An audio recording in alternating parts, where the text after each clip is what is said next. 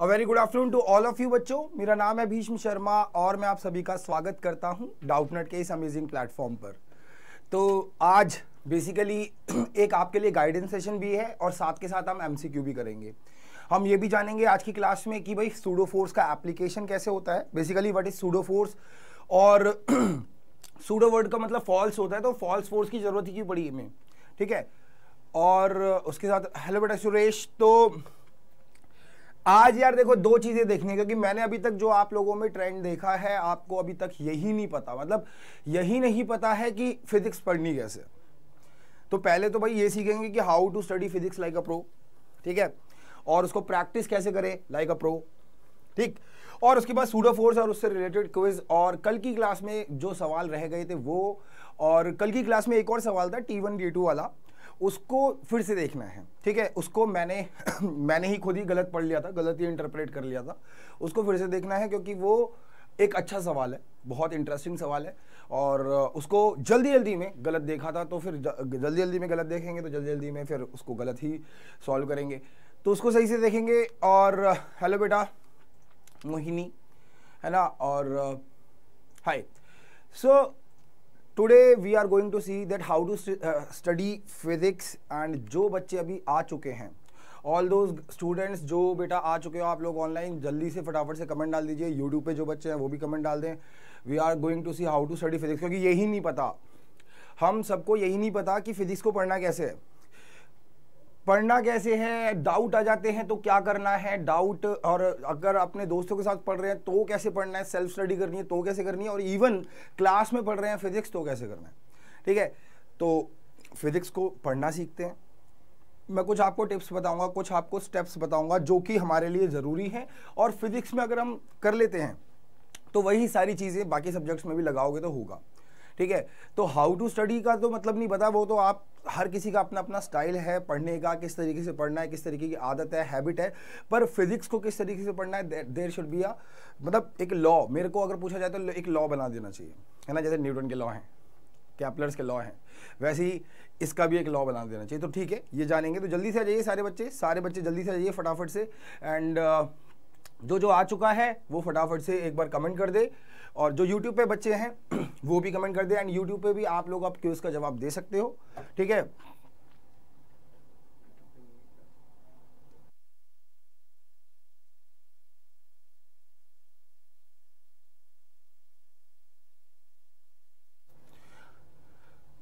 चलिए। तो जो जो बच्चा आ चुका है बेटा, फटाफट से कमेंट कीजिए एंड ये भी बता दूँ आप सभी लोगों को कि सफलता बैच स्टार्ट हो चुका है डाउटनेट का फ्लैगशिप प्रोग्राम डाउटनेट का फ्लैगशिप बैच। फ्लैगशिप का मतलब है कि भैया one of the most important batch जिससे डाउटनेट पूरी मेहनत करेगा जिन बच्चों के साथ और जिनका result top top class students में लाने की पूरी कोशिश करेगा। सो so, इस पूरे के पूरे बैच को, पूरे पूरे सफलता बैच का जो क्लासेस हैं, जो आपकी लगेंगी, जो आपको कंटेंट दिया जाएगा, जो आपको सवाल किए जाए, दिए जाएँगे, वो सारी चीज़ें वेल रिसर्च्ड है, ठीक है? By the top faculty pool top faculty मतलब जो भी देश में टॉप फैकल्टी पूल रहा है, कोटा के टीचर्स ठीक है? साउथ के टीचर्स नॉर्थ के टीचर्स एवरीवन जो टॉप फैकल्टी पूल है I T N N I T N BITSians सारे टीचर्स ने मिलके आप लोगों के लिए सफलता बैच क्रिएट किया है, तैयार किया है। इसमें आपको दो टीचर्स मिलेंगे and more of the more of that कि भाई आपको एक टर्म वन का रिवीजन कराया जाएगा within the period of 15 to 18 days और टर्म टू का सिलेबस पूरा कराया जाएगा with proper problem practice with proper everything जो भी आपको रिक्वायर्ड है। फिजिक्स में केमिस्ट्री में मैथ्स में, अगर आपके पास बायो है तो बायो में। ठीक है?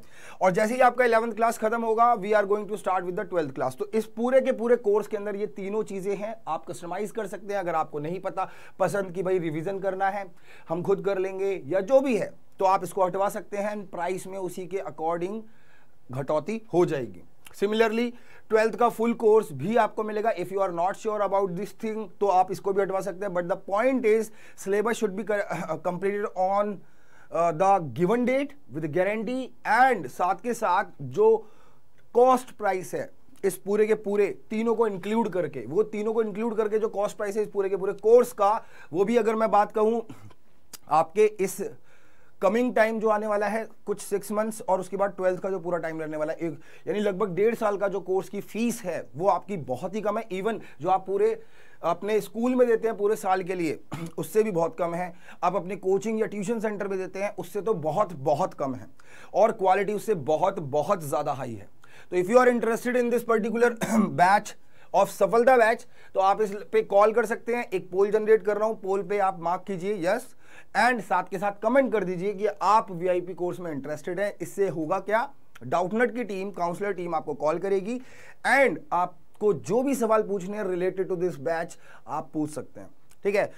इस बैच में क्या क्या हो चुका है क्या क्या कराएँगे, कब क्या होगा, कौन से टीचर कराएँगे, किस तरीके से आगे बढ़ेंगे सिलेबस को लेके प्रैक्टिस कैसे होगी ए टू जेड जो भी सवाल है, आप पूछ सकते हैं काउंसलर से। तो काउंसलर का फ़ोन आपके कब आएगा, जब आप टाइप करेंगे वीआईपी कोर्स में इंटरेस्टेड है। पहली चीज़। और दूसरी चीज़ कि अगर आप लोग बोलते हैं कि भाई you are coming from Bhishm sir class you will get a extra discount as well तो भीष्म शर्मा, मेरा नाम है तो अगर आप लोग चाहते हैं तो ठीक है तो you have to say the name of the teacher as well तो भाई आप लोगों को डिस्काउंट मिलेगा। तो यार, और क्या चाहिए तुम्हें जीवन में? जल्दी से स्टार्ट कर दीजिए एंड जो जो बच्चे आ चुके हैं, वो एक बार कमेंट डाल दें।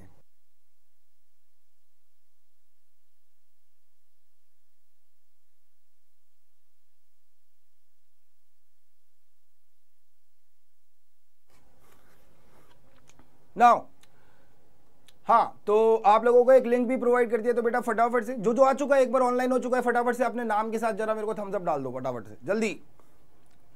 जल्दी। एंड पोल क्रिएट हो चुका है। यस तो चलिए, शुरू करेंगे। हाउ टू स्टडी फिजिक्स से। जो बच्चे आ जाएँगे, तब देख लेंगे। मतलब तब मैं चाहता हूँ कि जब ज़्यादा से ज़्यादा बच्चों को ये चीज़ पता चले तो how to study physics in between the lecture मैं आपको बताऊँगा।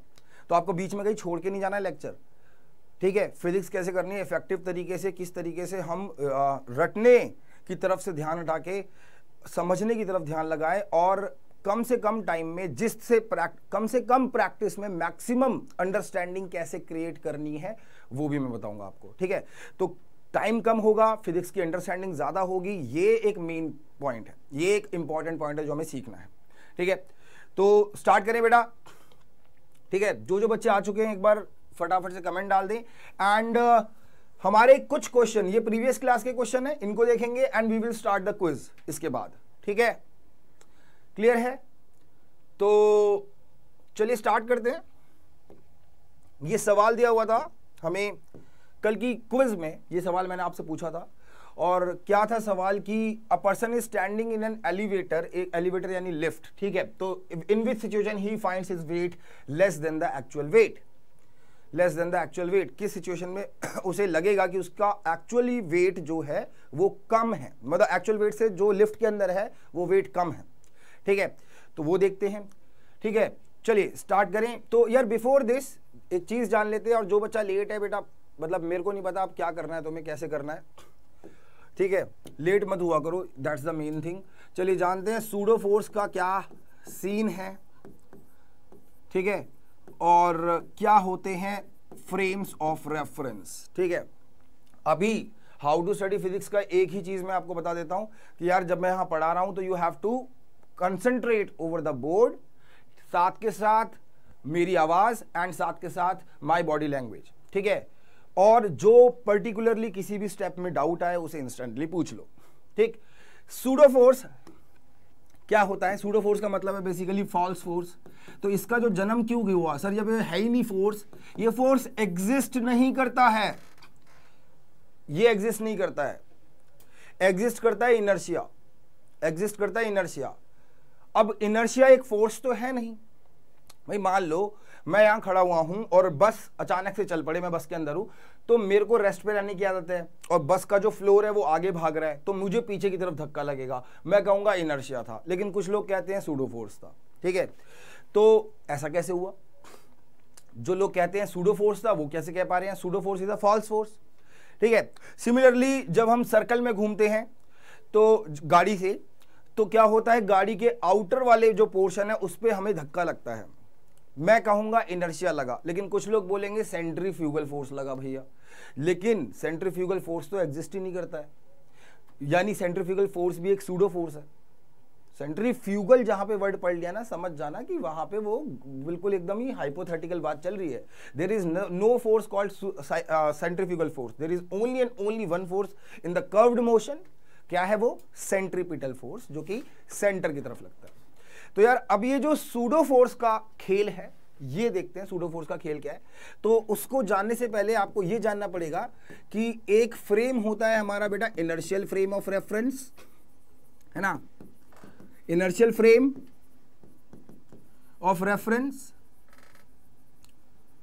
भाई देखो, ऐसा है, जो गाइडेंस है तुम्हें ना regarding exam regarding anything regarding syllabus regarding chapter regarding solving the physics ये हर क्लास में मिलेगी। बट पॉइंट है कि ये नहीं सोचना कि यही होगा। और दूसरा पॉइंट है कि क्लास में टाइम पे आना है, बारह बजे। तो जो लोग बच्चे इसकी रिकॉर्डिंग देख रहे हैं, उनको भी बोल दूँ, बेटा try to come up early at twelve P M every day ठीक है? मंडे टू सैटरडे यानी कि inertial inertial frame of reference क्या होता है? असल में पहली बात तो फ्रेम ऑफ़ रेफरेंस क्या होता है? फ्रेम ऑफ़ रेफरेंस का मतलब है एक ऐसा नज़रिया जिधर से ऑब्जर्वर ऑब्ज़र्व करता है किसी भी फिनोमिना को। कुछ हो रहा है, कुछ भी हो रहा है ट्रेन जा रही है ट्रेन चल रही है, उतर रही है बॉल ऊपर जा रही है बॉल नीचे आ रही है बॉक्स इधर उधर मूव कर रहे हैं। अगर हम उसे इनर्शियल फ्रेम ऑफ़ रेफरेंस से देख रहे हैं तो न्यूटन के लॉज हम इजीली लगा सकते हैं। ठीक है? जैसे कि, क्योंकि न्यूटन ने खुद खुद इनर्शियल फ्रेम ऑफ़ रेफरेंस से सारी चीज़ें ऑब्ज़र्व की थी। इनर्शियल फ्रेम ऑफ़ रेफरेंस का सर मतलब क्या होता है? वह फ्रेम या तो जो रुका हुआ हो, ठीक है? फ्रेम एट रेस्ट और अगर वो फ्रेम चल रहा है तो फ्रेम वो चलना चाहिए इन यूनिफॉर्म मोशन ठीक है? तभी तो इनर्शिया बना रहेगा। तभी तो देखो इसका नाम क्या है? Inertial frame of reference frame at rest या फिर frame in uniform motion uniform motion मतलब क्या? वेलोसिटी होगी कांस्टेंट डायरेक्शन होगी कांस्टेंट क्योंकि वेलोसिटी कांस्टेंट होगी। और एक्सेलरेशन ज़ीरो होगी। और इसके साथ अगर मैं बात करूँ एक और होता है न, सर नॉन इनर्शियल क्या होता है? नॉन इनर्शियल नॉन इनर्शियल क्या कहेंगे? तो इसका एकदम उल्टा होगा ठीक है? Non inertial frame is something which is accelerating जिसके अंदर वेलोसिटी कांस्टेंट नहीं है ठीक है? तो नॉन इनर्शियल फ्रेम की फ्रेम फ्रेम मतलब जब भी फ्रेम वर्ड बोलूँ, सोच लो ऑब्जर्वर की बात चल रही है कि ऑब्जर्वर कहाँ बैठ के देख रहा है, कहाँ से वो एनालाइज कर रहा है, कहाँ से खड़े होके वो न्यूटन लॉज लगा रहा है, ठीक है? अभी इसको लिफ्ट वाले सवाल में भी देखेंगे। तो फ्रेम विद एक्सेलरेशन ये तो चमका ही है फ्रेम विद एक्सेलरेशन और उसके साथ साथ वही है एक्सेलरेशन तो वेलोसिटी कांस्टेंट नहीं होगी, सीधी सी बात है, ठीक है? हाँ लेकिन अगर रेस्ट पे हुआ या रिलेटिवली रेस्ट पे हो तो वो फ्रेम क्या कहलाएगा हमारा? इनर्शियल फ्रेम ऑफ़ रेफरेंस आइए, यहाँ देखिए कि भाई मान लेते हैं, जैसे कि ये लिफ्ट है, ठीक है? अब दो तरीके हैं इस आदमी का वेट नापने के। दोनों तरीके जानोगे? ठीक है?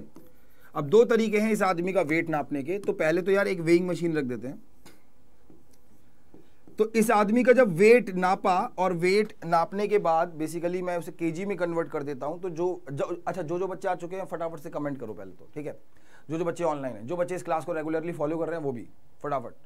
नाउ यहाँ पे देखिए non inertial frame non inertial frame में जो इसका वेट है मतलब यहाँ पे ये लिफ्ट है और ये लिफ्ट रेस्ट पे है ठीक? लिफ्ट रेस्ट पे है। है ना? हेलो बेटा।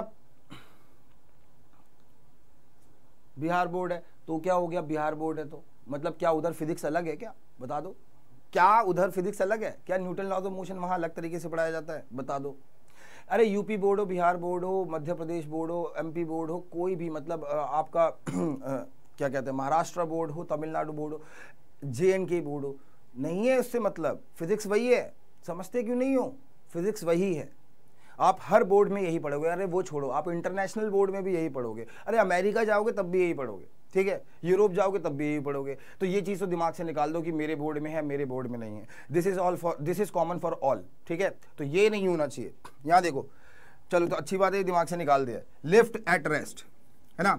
और जो हाउ टू स्टडी फिजिक्स है हाउ टू स्टडी फिजिक्स है, जो मैं बता रहा हूँ कि भाई फिजिक्स को पढ़ना कैसे है फिजिक्स को कैसे पढ़ना है, क्या है सही तरीका, वो उसको मैं लेक्चर के बीच में बताऊँगा। अगर आप बीच में छोड़ के गए तो योर नुकसान। यहाँ देखिए नाउ तो यार जब मैंने इसका इसका कुछ मास है एम ठीक है तो इस पे जो रीडिंग आई, इस पे रीडिंग आई तो क्या आई? कि ये जो वेइंग मशीन है, असल में ये नॉर्मल रिएक्शन नापती है, हमेशा वेइंग मशीन नॉर्मल रिएक्शन नापती है। तो इस आदमी ने इस वेइंग मशीन पे लगा रखा है एक नॉर्मल रिएक्शन और इस आदमी की अगर मैं बात करूँ तो इस आदमी पे ऊपर की तरफ़ एक एक्शन लग रहा, भाई इसने इस पे रिएक्शन एक्शन किया तो मशीन ने इस पे रिएक्शन कर दिया। और साथ के साथ इस आदमी पे वेट लग रहा है एम और क्योंकि ये ये लिफ्ट रेस्ट पे है, और आप यहाँ खड़े हो। आप कौन हो? ऑब्जर्वर आप कैसे ऑब्जर्वर हो? आप इनर्शियल ऑब्जर्वर हो, क्योंकि आप ग्राउंड पे खड़े हो, और ग्राउंड क्या है जो रेस्ट पे है रिलेटिवली हमारे। रिलेटिवली टू दिस लिफ्ट ठीक है? तो हम क्या कहेंगे? कि सर, यहाँ पे आदमी तो ऊपर नहीं जा रहा है, इसका मतलब फोर्सेस बैलेंस फोर्सेस हैं। तो यानी normal reaction equals to MG कह दूँगा मैं, बिना किसी शक के, बिना किसी दुविधा के। और वही इसमें रीडिंग आएगी, क्योंकि ये भी नॉर्मल रिएक्शन ही नाप रहा है। है ना? सर, कौन सा चैप्टर है? कौन सा लग रहा है? बताओ। न्यूटन लॉज ऑफ़ मोशन ठीक है? गुड आफ्टरनून बेटा संध्या। संध्या बेटा, आपने बीच में आना छोड़ दिया था, ये पता है मेरे को। ठीक है? चलो तो आई होप आप लोगों, आपका एग्ज़ाम वहाँ पे सही चल रहा होगा, जम्मू कश्मीर बोर्ड से राइट तो चलिए, देखें आगे। ठीक है? तो अभी 12 बजे तो आना है डेली, और बाकी लोगों को भी कह दो, ठीक है? बीच में काम बहुत था, जिससे के अंदर मैं भी बहुत मशरूफ था। लेकिन अभी क्या है कि यहाँ पे टर्म वन की रिवीजन आपकी स्टार्ट हो चुकी है सभी की। यहाँ देखिए तो नॉन इनर्शियल फ्रेम अभी तो ये तो इनर्शियल फ्रेम है। ठीक है? अब, मैं अगर बात करूँ कि अगर ये लिफ्ट चल रही होती तो क्या होता? ये लिफ्ट चल रही होती तो क्या होता? इसको यहाँ देखते हैं। हाँ। नॉन इनर्शियल फ्रेम तो जो भी आपको ये बोले ना सेंट्रीफ्यूगल फोर्स सेंट्रीफ्यूगल फोर्स उसको बोल देना। पहली बात तो भैया, ये फोर्स नहीं है। ठीक है? बस ऐसे ही है। नज़रिया है। यहाँ देखिए, अब क्या किया? ये लिफ्ट चल रही है ऊपर। ए एक्सेलरेशन से। यहाँ पे ये बंधु हैं और यहाँ पे ये बैठे हुए हैं और इसका मास है एम ठीक? अब होगा क्या? मैं दो लोगों के नज़र से नापूँगा। एक है ऑब्जर्वर जो कि यहाँ बैठा हुआ है ओ वन और एक है ऑब्जर्वर जो यहाँ बैठा हुआ है ओ टू दोनों की नज़र से नापते हैं, ठीक है? यहाँ देखो। अगर मैं ओ वन के नज़रिए से देखूँ ऑब्जर्वर वन के तो वो क्या कहेगा कि, सर, वो ये कहेगा कि ये जो मशीन है, ये नॉर्मल रिएक्शन नापेगी लाइक ऑलवेज और ये जो आदमी है, इस पर मैं एक फोर्स लगा दूँगा। ऊपर की तरफ़ तो एक्शन रिएक्शन फोर्स नीचे इसका एम लेकिन ओवन को क्या लग रहा होगा? ऑब्जर्वर वन को कि यार ये तो ऊपर भाग रहा है। यानी अगर इस लिफ्ट की एक्सेलरेशन ए है तो इस प्राणी की भी एक्सेलरेशन ए है और इस प्राणी की एक्सेलरेशन ए है इट मींस नेट फोर्स ऊपर है। यानी N minus M G is equals to M A ये मैंने ग्राउंड के रिस्पेक्ट में किया है और मैंने अभी तक तुम्हें कोई सूडो फोर्स बताया नहीं है, ठीक है? अभी बस मैंने इतना बताया कि जो लग रहा है वैसा दिख रहा है, वैसे ही हम लॉज लगा रहे हैं। तो हम क्या कहेंगे? हम ये कहेंगे ना कि सर ये आदमी ए एक्सलेशन से ऊपर जा रहा है इट मींस इस पे नेट फोर्स ऊपर की तरफ़ है। इट मींस ऊपर वाला फोर्स बड़ा फोर्स है। तो N minus M G to M A तो यहाँ पे जो वेट आएगा, जो ये वेट नापेगा, वो क्या होगा? नॉर्मल रिएक्शन तो क्या होगा? नए केस में normal reaction M G plus M A या फिर एम जी प्लस ए कैसी भी कोई दुविधा। वेट जो नया आएगा। अब, अरे इसको एपरेंट वेट भी कह देते हैं। लेकिन मैंने इसे सूडो फोर्स से नहीं किया। मैंने इसे सिंपल जो जैसे न्यूटन लॉज लगाते हैं, वैसे ही किया है। कि पहले यहाँ पे ये मूव नहीं कर रहा था तो मैंने कहा ये ऊपर ही नहीं जा रहा, बाहर के आदमी के रिस्पेक्ट से। जब ये ऊपर ही नहीं जा रहा तो नेट फोर्स ज़ीरो हो गया। अब बाहर के ऑब्जर्वर के रिस्पेक्ट से अगर ये प्राणी ऊपर जा रहा है तो इसका मतलब है नेट फोर्स ऊपर है, यानी N minus M G to M A होने वाला है। सर मेरे एनुअल एग्ज़ाम चल रहे हैं तो I can not attend the class अच्छा ठीक है, कोई बात नहीं, है ना? ठीक है, बस ये है कि पढ़ते रहो। राइट बीच बीच में आते रहो। यहाँ देखिए तो क्योंकि फिर पता चलता रहेगा आप लोगों को भी कि भाई डाउटनेट में क्या क्या और हो रहा है राइट चलिए। सो ये क्या है? एपरेंट वेट एपरेंट वेट अब चलो नापते हैं O2 की नज़र से। अब ये जो O2 है ना, ये जो अंदर बैठा हुआ है, ये क्या कहेगा? ये तो समझ में आ गया, सर। ये क्या कहेगा? इसको जानते हैं। ये कहेगा कि भाई, ये जो M है ना, ये जो इतना खुश हो रहा है, इसका ये वेट नापा जा रहा है। ये जो M है, ये रेस्ट पे है। इसके हिसाब से ये रेस्ट पे है तो इसके हिसाब से ये एक्सेलरेशन है ही नहीं। बोलो, है ना? भाई, इसके हिसाब से जो O2 है, इसके हिसाब से ये रेस्ट पे है। और हमें पता ही तो चल रहा है। तो ये लगा पाएगा क्या? ये इस फ्रेम में खड़ा हुआ है। क्या ये कहेगा अच्छा सर O2 ये लग गया, ऊपर N, नीचे mg लेकिन इसे तो एक्सेलरेशन पता ही नहीं है, ये ऊपर भी जा रहा है। ये तो यही कहेगा sir N equals to M G इसे हमेशा लगता रहेगा कि वेट कितना है। एन इक्वल्स टू एम तो यहाँ पे ये गलत हो गया, क्योंकि असल में वेट की जो रीडिंग है वो ये आएगी, ये नहीं आएगी। अगर आदमी का वेट सत्तर किलो है ओरिजिनली और लिफ्ट ऊपर जा रही है तो उसको सत्तर से ज़्यादा दिखेगा तो वो ये दिखेगा, यानी मान लो पिचहत्तर दिख रहा है तो ये दिखेगा, ये नहीं देखेगा। और ये आदमी को, इसको ये क्या कहेगा? नहीं नहीं, सत्तर था, ये पिछहत्तर कैसे हो गया? इसे लगेगा जादू, क्योंकि इसे नहीं पता एक्सेलरेट कर रहा है पूरा सिस्टम इसके हिसाब से अंदर वाला जो प्राणी है, वो रेस्ट पे है, क्योंकि वो भी उसके साथ रेस्ट पे है. तो ये आदमी कहाँ खड़ा हुआ है? नॉन इनर्शियल फ्रेम में. ये कहाँ खड़ा हुआ है? इनर्शियल फ्रेम में. अब समझे क्यों मैं बोल रहा हूँ? क्यों न्यूटन तुम्हारे पीछे पड़ा है कि भैया इनर्शियल फ्रेम से काम करोगे तो तुम्हारा काम बन जाएगा, नहीं करोगे तो तुम्हें लॉज ही नहीं लगा पाओगे, क्योंकि सारे लॉज डिज़ाइन हुए थे इनर्शियल फ्रेम में। तो यहाँ पे ये अगर आदमी है, ये नॉन इनर्शियल फ्रेम है, क्योंकि ये आदमी खुद ही एक्सेलरेट कर रहा है। अरे जब ऑब्जर्वर एक्सेलरेट करता है ना तो इसका मतलब समझ जाओ कि दिक्कत है। इसका मतलब समझ जाओ कि हमें सूडोफोर्स नामक चीज़ का इस्तेमाल करना पड़ सकता है। अगर सूडो फोर्स का तो मैं कभी आपको यूज़ ही ना कराऊँ। असल में क्या है कि ऐसे ही यूज़ हो जाए, लेकिन बहुत बच्चे कंफ्यूज रहते हैं। इसीलिए एस सी वर्मा जो सर हैं, उन्होंने भी क्या किया कि यार, बोल दो, बता दो बच्चों को सूडो फोर्स जैसा कुछ होता है। तो उन्होंने इसको अपने टर्म लेके आए एस सी वर्मा में बुक में, और तब से ये एकदम ही नाइन्टीज़ से मतलब हो चुके हैं इस चीज़ को बीस, तीस साल, तब से ये चीज़ फ्लरिश कर रही है। है ना? ऑल ओवर द नेशन तो अच्छी बात है, क्योंकि वहाँ पे बच्चों को समझने में दिक्कत थी। तो यार देखिए अब मैं क्या करूँगा कि ये non inertial frame inertial frame बन जाए? तो क्या करूँगा? मैं इस पे सूडो फोर्स लगाऊँगा। सूडो फोर्स क्या होता है? सूडो फोर्स क्या होता है? मतलब अगर आपका कोई भी फ्रेम चल रहा है विद एन एक्सेलरेशन ए और उसके अंदर कोई और बॉडी है जो एम मास की है तो सूडो फोर्स उस पर लगेगा। पहली बात तो अपोजिट दिशा में मास ऑफ़ बॉडी इनटू में एक्सेलरेशन ऑफ़ द फ्रेम। ठीक है? तो क्या है? Mass of body multiply acceleration of the frame. ठीक है? ठीक है? बताइए। तो ये तो समझ में आया ना आपको कि हम नॉन इनर्शियल फ्रेम में क्यों नहीं काम कर पाते हैं? इसको सही वेट नहीं दिखेगा। इसको कुछ नहीं दिखेगा। ये पता नहीं, ये कहेगा भूत है। ये कहेगा भूत है। कैसे? यार, सत्तर था पिछहत्तर क्यों दिख रहा है? है ना? Because he don't know that all of the system is moving with an acceleration पूरा सिस्टम ही ए से चल रहा है। ये ये O2 यानी second observer he is standing in a non initial frame जिधर हम लॉज नहीं लगा सकते। ठीक है? ये ओवन इनर्शियल फ्रेम में था तो इसने कहा, भैया नेट फोर्स है, लेकिन ऊपर भी जा रही है लिफ्ट तो मैं कहूँगा ए एक्सेलरेशन से ऊपर जा रही है तो इसका मास इनटू में acceleration should be the force equation इस तरीके से। तो तो ये समझ में आया कि सूडो फोर्स क्या होता है? Mass of the body into में एक्सेलरेशन ऑफ़ द फ्रेम जैसे ही मैं ये करता हूँ, जैसे ही मैं ये करता हूँ, पूरा सिस्टम एक तरीके से रेस्ट में आ जाता है। देखिए, क्या होगा? लिफ्ट में इस आदमी के साथ क्या होगा? कि आदमी के ऊपर सर लग रहा है नॉर्मल रिएक्शन नीचे लग रहा है एमजी लेकिन लिफ्ट भी तो देखो, ऊपर जा रही है। तो उस पर जो सर सूडो फोर्स होगा, वो कहाँ लगेगा? Opposite to the motion of the lift opposite to the acceleration of the lift sorry तो यहाँ देखिए mass of this body into में एक्सेलरेशन ऑफ़ द फ्रेम तो हम क्या कहेंगे? नीचे आ गया। अब O2 O2 इसको सही कह पाएगा। N is equals to M G plus M A ठीक है, ये बताओ, ये क्लियर हुआ नहीं हुआ? ए क्या है? फ्रेम की एक्सेलरेशन बोलो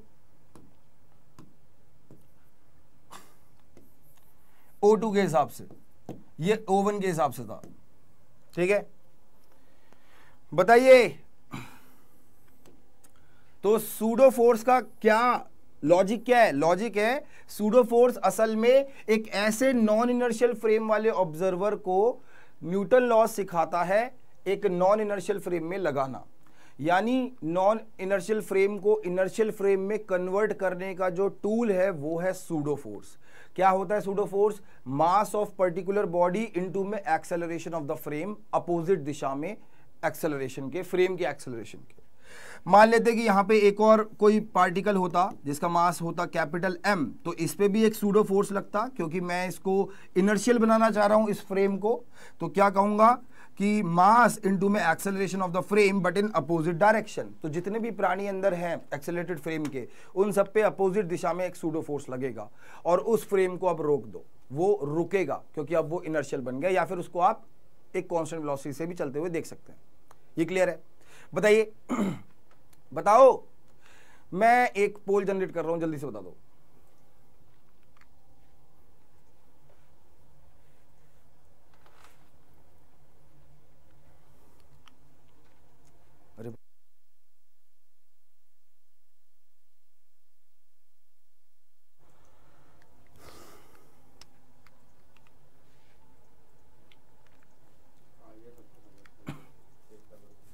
देखिए तो अब यहाँ देखो, ये आदमी क्या कह रहा है? ये सवाल था पिछला, ये क्विज के नहीं क्विज का भी आएगा, ठीक है? यहाँ देखो जल्दी। A person is standing in an elevator in which situation he finds his weight less than the actual weight तो कैसे सिचुएशन में होगा? कम कम होना चाहिए। तो एलिवेटर में खड़ा ये। अब भाई, इसको अपना वेट कम तब लगेगा? देखो नॉर्मल रिएक्शन तो ऊपर लगेगी लगेगी, और यही तो हमें नापनी है। वेट होता है नॉर्मल रिएक्शन, याद रखना। एम तो जब नॉर्मल रिएक्शन एम के बराबर होता है तो एम वेट कह देते हैं, लेकिन कभी कभी ज़्यादा भी होता है, ठीक है? तो याद देखिए अब ये पूरा मान लो ए एक्सेलरेशन से नीचे आ रहा है। अरे यार, तुमने टॉम एंड जेरी देखा है? उसमें देखा है कभी बार कि जब ऐसे लिफ्ट नीचे आ रही होती है या फिर ऑगी एंड द कॉकरोचेस उसमें वो वो स्पेस से नीचे लिफ्ट आ रही होती है, बहुत तेज़ी से गिर रही होती है तो वो ऊपर चिपक जाते हैं। ये सच है। वो ऊपर चिपक जाते हैं। दिस इज़ ट्रू क्या होता है कि एक हम पे ऊपर की तरफ़ फोर्स लगता है। अगर कोई लिफ्ट नीचे गिर रही है ना तो हमें एक तरीके से इनर्शिया की वजह से कह लो, ऊपर की तरफ़ एक इनर्शिया रहता है हमारा। ठीक है? क्योंकि हम तो रेस्ट पे थे ना लिफ्ट ही नीचे गिर रही है। हम तो वहीं खड़े हुए थे। तो इनर्शिया आता है। लेकिन लोगों ने इसको क्या बोल दिया? इसको ये भी बोल दिया सूडो फोर्स तो क्या होगा? इस आदमी का मास अगर एम है तो एम ए तो जब लिफ्ट नीचे आएगी, तब इस पर सूडो फोर्स ऊपर लगेगा। जब लिफ्ट नीचे आएगी तो इस पर सूडो फोर्स ऊपर लगेगा। तो अब आप सूडो फोर्स को एक रियल फोर्स की तरह काम करके चल सकते हो लेकिन आपको क्लियर रहना चाहिए आइडिया कि एग्जिस्ट नहीं करता। सो so, अब मैं नॉर्मल रिएक्शन निकालूं तो क्या होगा? क्योंकि नॉर्मल रिएक्शन ही तो रीडिंग देगा वेट की। तो ये हो जाएगा एम जी माइनस ए है ना? तो नॉर्मल रिएक्शन क्या है? नॉर्मल तो यहाँ पे क्या है कि जब लिफ्ट जाएगी नीचे, तब मेरे को हल्का लगेगा। इसी है ना तो एलिवेटर मूव अपवर्ड ना elevator move downward with an constant acceleration could be possible upward with uniform velocity ये तो इनर्शियल फ्रेम है। इन मूव डाउनवर्ड ना, ये भी गलत है। ठीक है? गुड आफ्टरनून बेटा, आचल, और आप आए हो late this is wrong wrong wrong wrong बारह बजे आना है। ठीक है? क्लियर हुआ है? नेक्स्ट सवाल पे आते हैं। इसको करो। इसमें हमें वेटलेसनेस मिलेगा। देखो क्या कह रहा है, ये प्रीवियस क्लास का सवाल था, अभी मैं कुछ जनरेट करूँगा, ठीक है? A body of mass two K G is hung on a spring balance एक ऐसे करके एक लिफ्ट है भाई, और इस पे एक स्प्रिंग बैलेंस है, और इस पे एक टू के जी की मास लटक रही है। है ना? Vertical lift if the lift descend यानी नीचे आती है with an acceleration equal to the acceleration due to gravity तो भैया बता दो स्प्रिंग में रीडिंग कितनी आएगी? तो देखो ज़ीरो आएगी। क्यों? ये जो मास है, ये देखो, भाई भाई ऑब्वियस ही बात है। इस पर नीचे लग रहा है एम जी और ये स्प्रिंग फोर्स है। है ना? स्प्रिंग फोर्स है मतलब टेंशन मान लो इसे टेंशन लग रही है यहाँ पे। Tension is always away from the this तो ये जो स्प्रिंग फोर्स है, ये जो स्प्रिंग बैलेंस वाला फोर्स है, इसको मैं क्या कह दू? टी कह देते हैं, फ़िलहाल। क्योंकि एक तरीके से है तो ये स्प्रिंगी या फिर रस्सी, मान लो एक बार के लिए। और ये नीचे जा रहा है तो सूडो फोर्स क्या लगेगा यार? मास इंटू में फ्रेम ऑफ़ एक्सेलरेशन ये क्या सूडो फोर्स सूडो फोर्स हमेशा एक्सेलरेशन के अपोजिट लगता है। किसकी एक्सेलरेशन हमारे फ्रेम की एक्सेलरेशन तो सूडो फोर्स लग रहा है मास इंटू में मास इंटू में acceleration of the frame in opposite direction तो जैसे ही मैंने ऐसा किया, सब कुछ थम गया, सब कुछ इनर्शियल फ्रेम में आ गया। ठीक है?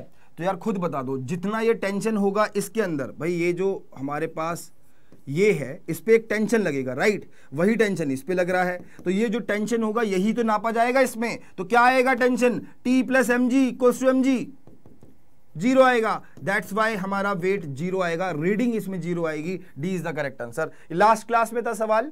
है ना? यस बेटा सुरेश। है ना? मोहित गुड आफ्टरनून जल्दी आना है। बारह बजे आना है डेली ठीक है?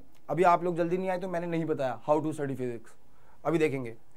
यहाँ देखो, और इससे पहले मैंने बताया है सूडो फोर्स क्या होता है। Pseudo force is always act in non inertial frame यानी जो फ्रेम एक्सेलरेशन से चलते हैं, जिन पे कोई कांस्टेंट या वेरिएबल एक्सेलरेशन होती है।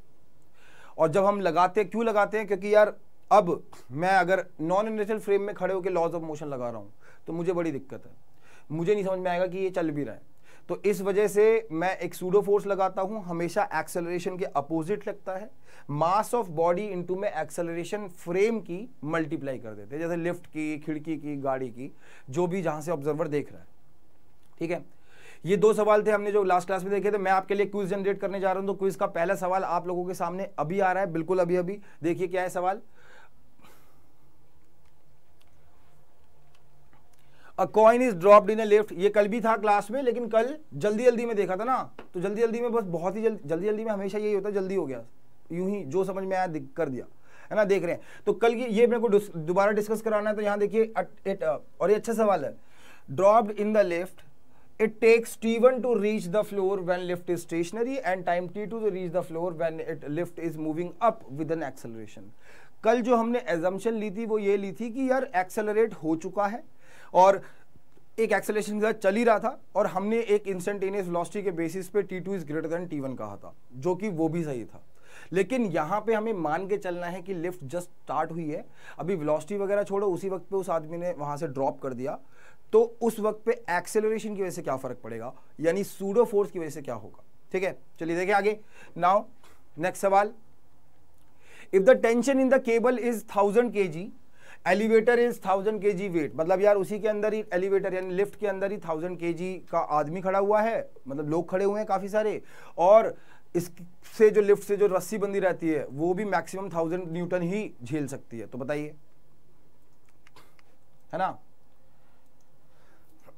ये थाउज़ेंड के वेट की बात कर रहा है। के वेट मतलब इंटू में जी कर दोगे ten thousand newton ten thousand newton तो बताइए the elevator is accelerating upward या फिर accelerating downward may be at rest और एक्सेलरेटिंग या फिर मे बी एट रेस्ट और इन यूनिफॉर्म मोशन बताइए फटाफट से, करिए। नाउ नेक्स्ट सवाल। Quiz 2 का question number one the apparent weight of a body when it is travelling upward with an acceleration this and mass is this तो विल बी व्हाट बताइए फटाफट से। ये अभी अभी तो कराया है। स्प्योल जी की वैल्यू ले लेना 9.8 क्योंकि यहाँ पे सारी ही चीज़ें कहीं ना कहीं दिख रहा है कि शायद 9.8 लेके आई हूँ। नहीं तो 10 ले लेना। जो भी आंसर करीब आएगा वो आपका फाइनल आंसर होगा। कर रहे हो आप लोग? कर रहे हो?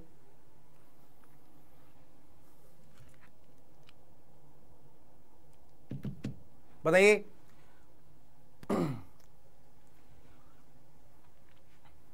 भाई मुझे ये चाहिए कि मोहित, सुरेश और मोहिनी और संध्या और जो बच्चे हैं जो अभी क्लास में बैठे हुए हैं, बारह बजे आ जाए करें, ठीक है? देखें आगे। देखें। चलिए नेक्स्ट लास्ट क्वेश्चन एक आदमी का टाइम पीरियड एक आदमी ने टाइम पीरियड एक पेंडुलम का स्टेशनरी लिफ्ट में नापा और फिर उसके बाद एक्सेलरेटेड लिफ्ट में नाप लिया। स्टेशनरी में नापा, कुछ टी और एक्सेलरेटेड में नापेगा। With an acceleration of G by four जब वो चल रहा था ऊपर। तो न्यू टाइम पीरियड क्या होगा? मतलब एक ऐसा लिफ्ट है जो कि जा रहा है ऊपर with an acceleration of G by four तो नया टाइम पीरियड क्या होगा? मैं ये बता देता हूँ कि नया जो टाइम पीरियड होगा मतलब मैं ओरिजिनल टाइम पीरियड बता देता हूँ, ये लेते हैं under root two pi under two pi under root L by G length of pendulum upon में जी तो समझ रहे हो ना, यहाँ पे चेंज आएगा, क्योंकि एक्सेलरेशन ये एक्सेलरेशन ऊपर भी कर रहा है और जी भी लग रहा है।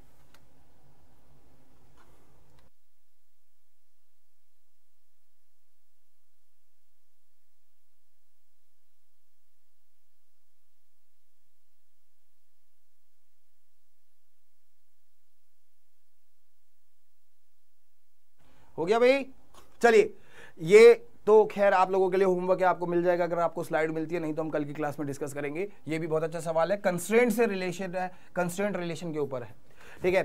तो यहाँ ये, यार यहाँ से शुरू करते हैं। ओरिजिनल टाइम पीरियड को मैंने कह दिया कि sir two pi under root L by G कोई बात नहीं। लेकिन जब लिफ्ट ऊपर जा रही है तो जो पेंडुलम है ना, उसके ऊपर दो चीज़ें हो रही हैं। टी टाइम है टाइम पीरियड है टेंशन नहीं है टाइम पीरियड है। यहाँ पे एक तो नीचे लगेगा सर एम और साथ के साथ, क्योंकि लिफ्ट जा रही है ऊपर तो इस पर एक सूडो फोर्स भी लग जाएगा। कितना? मास ऑफ़ बॉडी इनटू में acceleration of the frame acceleration of the frame कितनी दी हुई है? G by four in upward direction clear है? तो यानी नेट अगर मैं बात करूँ इसकी तो यहाँ पे जी इफ़ेक्टिव लिखते हैं। तो जो नेट एक्सेलरेशन है नए टाइम पीरियड की, वो क्या होगी? सर वो होगी टू पाई लेंथ तो चेंज नहीं होने वाली भैया इसकी स्ट्रिंग की। ये हो जाएगा G plus G by four कोई दिक्कत? कोई भी दिक्कत कैसी भी नहीं है। सॉल्व कर दो इसे। Two pi four plus one five तो ये आ गया फाइव एल बाय ओहो, ओ four L by five G ठीक है? ये गया टाइम पीरियड तो वो क्या पूछ रहा है? बता दो ओरिजिनल टाइम पीरियड के हिसाब से कितना होगा? तो कर दे इसे। यार ओरिजिनल टाइम पीरियड था ये। Two pi under root L by G को मैं बाहर निकाल लेता हूँ। और मल्टीप्लाई में ये रह गया ना फोर बाय फाइव तो ये हो गया रूट ये आ गया टू बाय रूट फाइव इसको मैंने साइड में रख लिया। तो आपको पता आंसर क्या हो गया अब तक? पता ही चल चुका होगा। ये टू बाय रूट फाइव तो भाई ये मैंने अलग निकाल लिया, है ना? ये तो टी डैश था, ये भी टी डैश था। तो क्या होगा? ये हो जाएगा original T dash is equal to original time under root two by two by root five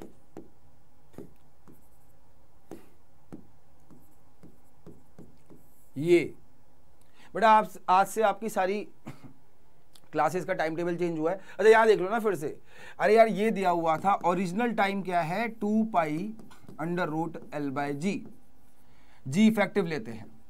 तो जब लिफ्ट रुकी हुई थी तो इसके अंदर ए ज़ीरो था। तो इस पर सिर्फ़ एक एम जी लग रहा था। तो जी इफ़ेक्टिव किसके बराबर था? एम जी के बराबर था। मतलब जी के बराबर ही था। लेकिन जब ये लिफ्ट चल रही है, उस समय पे क्या होगा? जब ये लिफ्ट सर चल रही है, चल रही है है ना? जब ये लिफ्ट चल रही है ए एक्सेलरेशन से तो इसके ऊपर लगेगा, एक तो एम तो लगेगा लगेगा। साथ के साथ एक सूडो फोर्स भी लगेगा। मास ऑफ़ दिस इंटू में एक्सेलरेशन ऑफ़ द फ्रेम जो दिया हुआ है जी बाय फोर तो मैं नया टाइम पीरियड निकालूँगा तो वो होगा two pi under root L by G plus G by four नीचे की तरफ़ जी फैक्टिव इतना आ गया। तो टी डैश आ गया two pi under root four L by five G और ये इक्वेशन टू है, ये वन है। जी इफ़ेक्टिव यहाँ पे जी के बराबर है डिवाइड कर दो। तो आ जाएगा T by T dash is equals to what बोलो। ये आ जाएगा one upon under root four by five यानी टी डैश अगर निकालूं तो वो हो जाएगा under root four by five into में टी यानी two by root five into में टी कोई दिक्कत? कैसी भी दुविधा? ये आ जाएगा। A is the correct answer अब क्लियर है बेटा? अब क्लियर है? अभी आप कह रहे थे ना, नहीं समझ में आए। है ना? वेरी गुड बेटा सुरेश। समझ में आ गया। नाउ इस सवाल पे आते हैं। Apparent weight of the body apparent weight of the body when it is travelling upward with an acceleration two will be भाई, अब तो तुम्हें प्रो हो जाना चाहिए इसमें कि ये जो सर बॉडी है, इस पर नीचे तो एमजी लगेगा लगेगा वो अर्थ के ग्रेविटेशन फोर्स की वजह से। साथ के साथ सर, ये नॉन इनर्शियल फ्रेम है बिकॉज़ इट इज़ एक्सेलरेटिंग तो यहाँ पे सर एक और लग जाएगा मास ऑफ़ बॉडी इनटू में एक्सेलरेशन ऑफ़ द फ्रेम तो वेट क्या होगा? वेट होगा इसका नया वेट एपरेंट वेट होगा M G plus M A या फिर एम जी प्लस ए या फिर मास कितना है? टेन। और जी भी मैं टेन ले रहा हूँ और इसको टू ले लेता हूँ। है ना? बोलो। तो कितना आ जाएगा ये? ट्वेल्व 120 120 अगर मैं 9.8 लेता तो 118 आ जाता। D is the correct answer ठीक है? मतलब 120 न्यूटन, जो कि लगभग 118 न्यूटन के करीब है। ठीक है? किसी का इसका 140 आ रहा था, पता नहीं कैसे। बताओ भाई। एक्सेलेशन फोर नहीं दी हुई है एक्सेलेशन टू है। है ना? तो जब भी लिफ्ट ऊपर जाएगी, हमें भारी महसूस होगा। देखा ना यार, टॉम एंड जेरी में टॉम एकदम लिफ्ट से चुपक जाता है, अगर लिफ्ट बहुत तेज ऊपर जा रही हो। तो वो सूडो फोर्स दिखाया होता है। उसकी एक क्या कहते हैं, एक थोड़ा सा एग्जेजरेटेड वर्जन है। उसका कार्टून्स में होता है। ठीक है? नाउ बड़ा चढ़ा के। If the tension in the cable is this and this यार ये कह रहा है कि देखो, रस्सी, इसका वेट है हज़ार। और रस्सी भी खींच सकती है हज़ार। वेट कह लो तो इंटू में जी इंटू में जी कह लो। ठीक है? तो ऑब्वियसली या तो वो रेस्ट पे होगा या फिर वो यूनिफॉर्म मोशन में चलेगा। D is the correct answer अब आ जाते हैं एकदम पते के सवाल पे, यहाँ पे। ये कह रहा है कि जब एक आदमी, देखो, ये कह रहा है कि एक आदमी जब लिफ्ट रेस्ट पे थी, तब इसने एक सिक्का छोड़ा था। है ना? तो इनिशियल वेलोसिटी ज़ीरो थी। तो ये जब सिक्का आ रहा था, उस पर जी की स्पीड से आया तो नीचे आने में इसने टाइम लिया टी वन वहीं पे एक सेम लिफ्ट कहाँ जा रही थी? Up with constant acceleration A तो अब यहाँ पे जो आदमी था, उसने अगेन इसको छोड़ा तो यार आदमी के हिसाब से तो इनिशियल वेलोसिटी ज़ीरो है। है ना? और हाइट भी सेम ही है। एच तो यहाँ पे जो टाइम आ रहा था टी वन वो आप क्या कहोगे? सर आ, वो हम यहाँ से निकाल सकते हैं ना? कि सर ये हाइट एच ले लेता हूँ।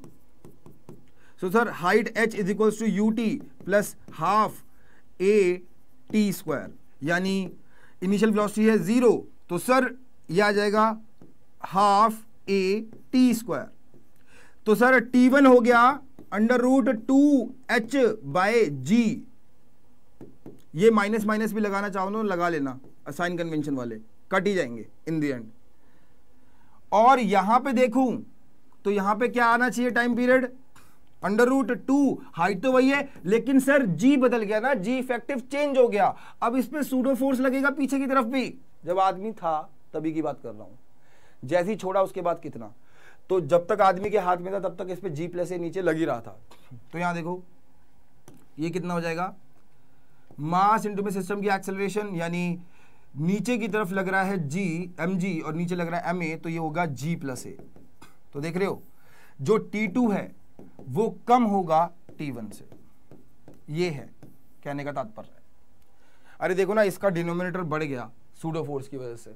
और इसका डिनोमिनेटर तो वही है तो इस वजह से ये कम हो जाएगा, ये बढ़ जाएगा. ये एक्सेलेटर है, ये इनर्शियल है. क्या आएगा? A is the correct answer है ना? बताओ! ये समझ में आया? मैं एक पोल जनरेट कर रहा हूँ, जल्दी से बता दीजिए कि आपको समझ में आया है या नहीं आया। फटाफट से।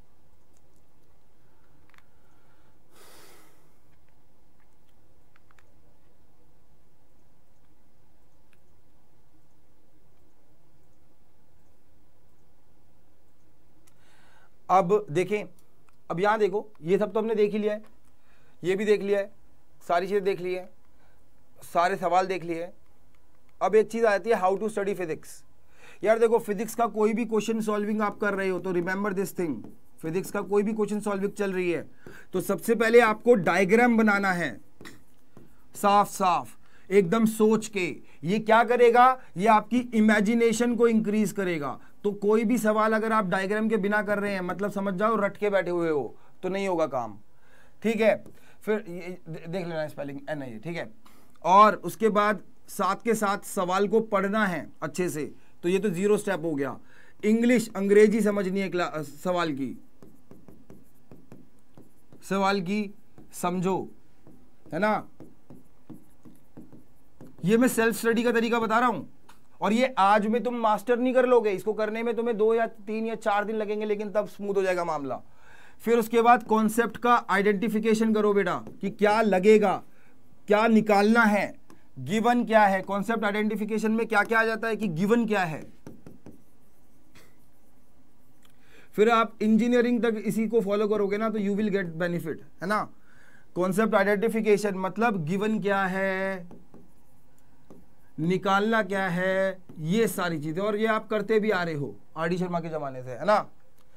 और फिर कॉन्सेप्ट को अप्लाई करना आना चाहिए तो मैक्सिमम जनता दो जगह ढेर होती है। और फिर आपको मैथ्स करनी है, यानी आपको सॉल्व करना है। तो डू द मैथ्स, है ना? सॉल्व करना है। तो मैक्सिमम जनता को कहाँ पे दिक्कत आती है? पहली बात तो 99 परसेंट को जनता को दिक्कत आती है यहाँ पे। 99 परसेंट। उसके बाद चलो, ये तो तुम सोच ही लोगे कि लगेगा क्या? दिया क्या है, पूछा क्या है, बताएँ क्या? कॉन्सेप्ट अप्लाई कर भी देते हैं एक बार के लिए। एप्लीकेशन में तो मतलब दिक्कत आती ही आती है, फिर उसके बाद सॉल्व तो चलो कर ही लेते हो। तो हमेशा याद रखो, जब भी आप सवाल को कर रहे हो तो आपको पता होना चाहिए अच्छा मैंने स्टेप वन कर लिया, मैंने स्टेप टू कर लिया। मुझे ये नहीं पता चल रहा कि कॉन्सेप्ट कौन सा लगेगा। यहाँ दिक्कत है। उस सवाल से रिलेटेड थ्योरी को पढ़ डालो, वापस जाके। फिर उस पर वापस से अप्लाई करो आइडेंटिफाई करो। वापस से लौट के आओ सवाल पे आइडेंटिफाई करो फिर से चमक जाएगा। आफ्टर देन कॉन्सेप्ट को अप्लाई करने की कोशिश करो। नहीं होता है अप्लाई तो एग्ज़ाम्पल देखो। अगर नहीं होता है अप्लाई तो क्या देखने हैं? एग्जाम्पल्स देखो उसी से रिलेटेड सी एग्जाम्पल्स तो आपको अप्लाई करना आ जाएगा। और उसके बाद ये तो यार आपकी आ, मतलब ये तो आपका जन्म से जो आ, समझ है मैथ्स को सॉल्व करने की वो लगेगी। तो भाई समझ जाओ फिजिक्स को पढ़ने का यही तरीका है डायग्राम सवाल अच्छे से पता लगाओ क्या है, क्या नहीं है, क्या अंग्रेज़ी है, उसकी सेकंड चीज़ है, हमें डायग्राम प्रॉपरली होना चाहिए जिससे इमेजिनेशन बढ़ेगी। कार्टून्स वार्टून देखो थोड़ा बहुत। और उसके साथ साथ कॉन्सेप्ट आइडेंटिफिकेशन करो कि यार लगेगा क्या दिया क्या है, निकालना क्या है और मैं क्या लगा सकता हूँ। कि ऐसा तो नहीं है कि मैं फॉर्मूला लगा रहा हूँ किसी और रिज़ल्ट वाला, किसी और कंडीशन वाला और यहाँ पे कंडीशन अलग है। जब ऐसी चीज़ें होती हैं तो try to see the theory and examples अगर आपको अप्लाई नहीं करना, आपको समझ में आ गया कि हाँ लगेगा इसमें सूडो फोर्स का कॉन्सेप्ट इसमें लगेगा अपेरेंट वेट का कॉन्सेप्ट लेकिन मुझे समझ नहीं आ रहा कि मैं सूडो फोर्स लगाऊँ कैसे। तो उसके लिए आपको क्या करने हैं? सवाल करने हैं। And then after you have to do the maths चलिए तो यार, अब मिलते हैं कल की क्लास में सेम टाइम 12 बजे। मैं आप सभी को बता देता हूँ कि यहाँ पे अगर आप लोग नए हैं, अभी बिल्कुल एंटर किए हैं इस क्लास में तो सफरदा बैच लॉन्च कर चुके हैं डाउटनेट में हम लोग। It is a very very well researched programme of Doubtnut इसमें आपका सारा कंटेंट से लेके टेस्ट सीरीज़ से लेके, सारे questions everything is actually researched तो अब इसमें क्या है कि एक तरीके से टर्म वन का हम आपको रिवीजन प्रोवाइड करेंगे इलेवंथ क्लास का। टर्म टू का हम आपको क्या प्रोवाइड करेंगे? टर्म टू का सिलेबस कंप्लीट कराएँगे and then after then you will be having a twelfth full course with your same teachers तो यार ये सारी चीज़ें अगर आपको चाहिए तो आप लिख सकते हैं इंटरेस्टेड इन वीआईपी कोर्स आप पे काउंसलर का कॉल आ जाएगा। एंड वहाँ पे आप क्या कर सकते हैं काउंसलर का कॉल आने के बाद आप उनसे पूछिए, जो भी सवाल पूछने हैं फ़ीस एंड एक्सेट्रा चलिए तो अगर आप इंटरेस्टेड है तो डाल दीजिएगा। मैं एक पोल जनरेट कर रहा हूँ एंड देन मिलेंगे हम नेक्स्ट क्लास में कल with a different and new and more understandable topic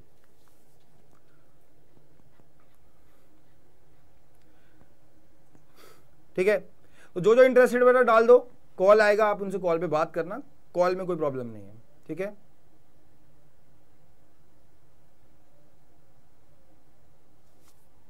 चलिए, मिलते कल till and take care and goodbye thank you